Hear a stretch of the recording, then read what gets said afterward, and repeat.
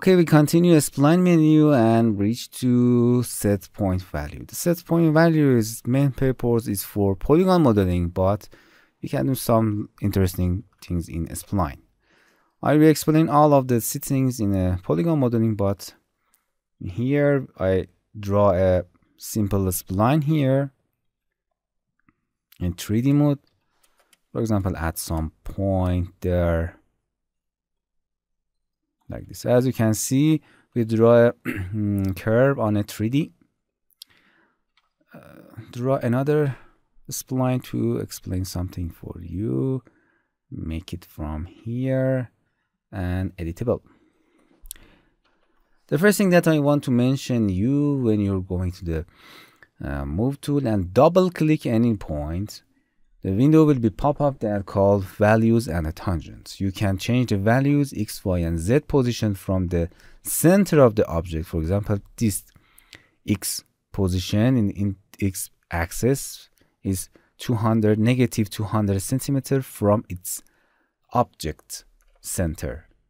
If you hit zero, it will be a snap to the center of the object. So double click on any point on a spline, this will be pop up and you can X and Y and Z, you can change its position and we have a tangent.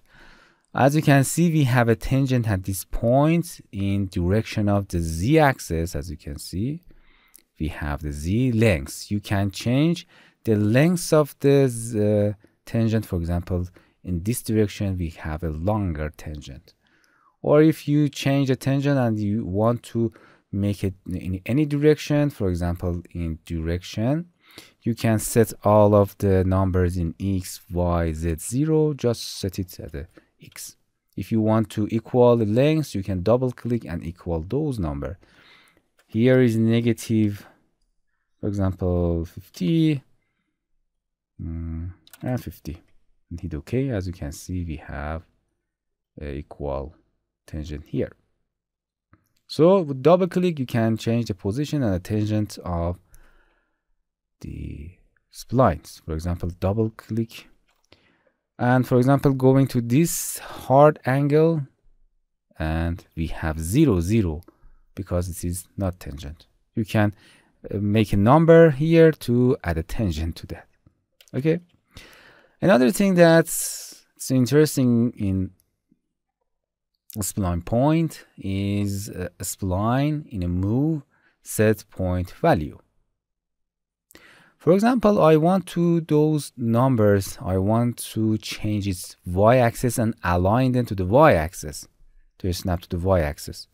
Select them, right click and set point value. In the settings, I will be explaining all of those settings in the polygon modeling, but you just work with here the y-axis. Find the which axis that you want to align your point. I want to align them in the y-axis. Leave means leave the position of the point as there is. But you can set it. I will be explaining all of them. Don't worry. Set, set. You set this um, box will be active and you can set the value. For example, value of uh, 0 centimeter means they are snapped to the y-axis in a zero. Apply it, as you can see, all of that point snap to uh, z-axis, uh, y-axis is zero. You, for example, 10 centimeter, as you can see, they're going 10 centimeter high from the zero of y-axis. Or if you want to select all or control A, control A to select all points, and set all of them, for example, 0, set in a y, apply. All of them snap to the, oh, I accidentally set z, set the z uh, parameter leave, it's leave as it is, and just y, set 0, as you can see, all of the points going down and snap to its y-axis because they are 0. Okay, just use the set for your point that you want to change its position and hit apply. I explain all of them more in polygon modeling. Special. This tool is special and uh, for and, or main purpose of that is for polygon modeling that I will be explaining you in a mesh menu we have all of them here as you can see we have in a mesh modeling the set point value as well okay that's its set point value